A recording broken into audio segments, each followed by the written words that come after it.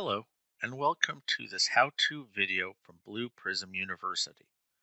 During this video, you will learn how to adjust time zones in the Blue Prism scheduler. An enhancement found in Blue Prism 7.0 is the implementation of time zones within the scheduler.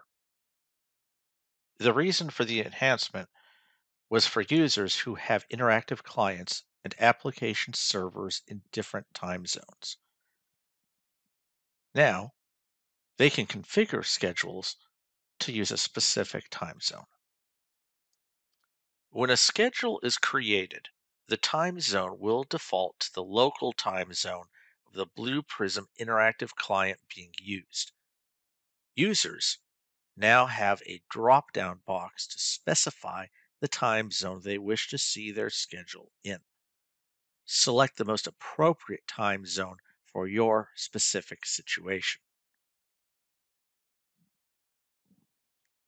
For those countries and locations that observe daylight savings time, Blue Prism has also added an additional feature that allows users to adjust for the daylight savings option. During this video, we have seen how to adjust the time zone of a schedule within Blue Prism Enterprise.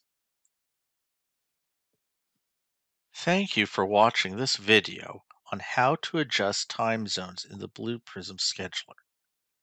If you want to know more about any of the Blue Prism products, please visit the Blue Prism University via the link in the description below, or visit the Blue Prism University community to get support from other members and participate in various discussions via the link in the description below.